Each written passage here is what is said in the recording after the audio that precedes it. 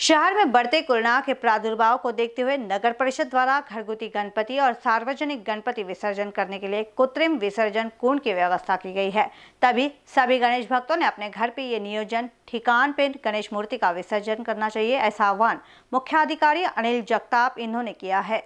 सभी सूचना का पालन जनता को करना है। 31 अगस्त सोमवार और 1 सितंबर, इस दिन सुबह आठ से शाम आठ बजे तक गणेश विसर्जन किया जाएगा। शहर के छह स्थानों पे विभिन्न जगहों पे यह कुंड तैयार किया गया। तब सभी कुंड पे बापा का विसर्जन पूरे भक्ति भाव से भक्तगण करते दिखाई दिए। प्रतिवर्ष यह गणेश विसर्जन शहर के वना नदी पर किया जाता था। वृक्ष संवर्धन संगठना के कृत्रिम कुंड के उपक्रम को पिछले साल से जनता सहयोग करते दिख रही है। इस साल पालिका ने विभिन्न जगह कुंड बनाए हैं। ढोल, ताशे, फटाकों की गूंज भी इस साल शहर में नहीं दिखी। इन बीसीएन न्यूज़ चैनल द्वारा शहर के सभी कृत्रिम कुंड का दौरा किया गया और बापा के भक्तों से बातचीत की गई। नगरपालिका यांच्या संयुक्त विद्यमान आहे आणि संतोष तुकडोजी वार्ड येथील रहिवाशाच्या संयुक्त नगर नगरपालिकेकडून शहरात कोरोना प्रादुर्भाव असताना सहा जलकुंडाची व्यवस्था केल्याची आहे. कृत्रिम जलकुंड तयार केली आहे. तेव्हा पाहिजे तशी भाविकाची आज गर्दी नाही दिसत आहे जलकुंडावर पण बघूया काही भाविक आम्हाला मिळाले आहे जलकुंडावर विसर्जन करताना. त्यांचं काय म्हणणं आहे कोरोना काळात? काय विस विसर्जन करताना काय खंत वाटत आहे? काय म्हणणं आहे काका तुमचं?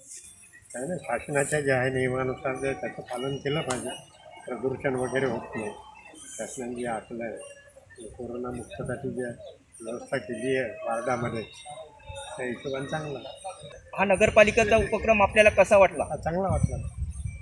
कोरोना काळात आज विसर्जन करताना आपल्याला गणपती प्रत्येक वेळेसच्या गणेश विसर्जनाच्या वेळेस न या ग यावेळेसच्या गणेश विसर्जनाच्या वेळेस काय फरक जाणवत आहे? काय म्हणजे आता फक्त कोरोना परिस्थितीनुसार जे आहे आणि नगर परिषदेच्या शासनाच्या नियमाप्रमाणे करावं पण आता संत तुकडीची वाट इथलं जलकुंभ पाहिलं त्याच्यानंतर शासकीय सुद्धा नगरपालिकेकडून ठेवले आहे आणि काही वार्डातले कार्यकर्ते सुद्धा आहे त्यांच्याकडून आपण जाणून घेऊया काय प्रतिसाद आहे ना गणेश उत्सवामध्ये भाविकांचा.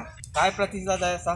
छान आनंदाने लोक कुंभ या कुंभामध्ये स्पर्धेचे या वार्डातले सामाजिक कार्यकर्ता श्री रो रवी रोहनकर यांच्याकडून जाणून घेऊया काय काय कल्पना ह्या कल्पनेतून काय काय तुम्ही सुविधा केल्या आहे आणि भाविकासाठी काय काय उपाययोजना केल्या. काय म्हणणं आहे साहेब? आम्हाला एक चांगला सार्वजनिक उपक्रम राबवण्याचा सवय झाली आहे. इथे गजानन महाराज प्रगट दिनाचा पण सुंदर असा प्रोग्राम होता.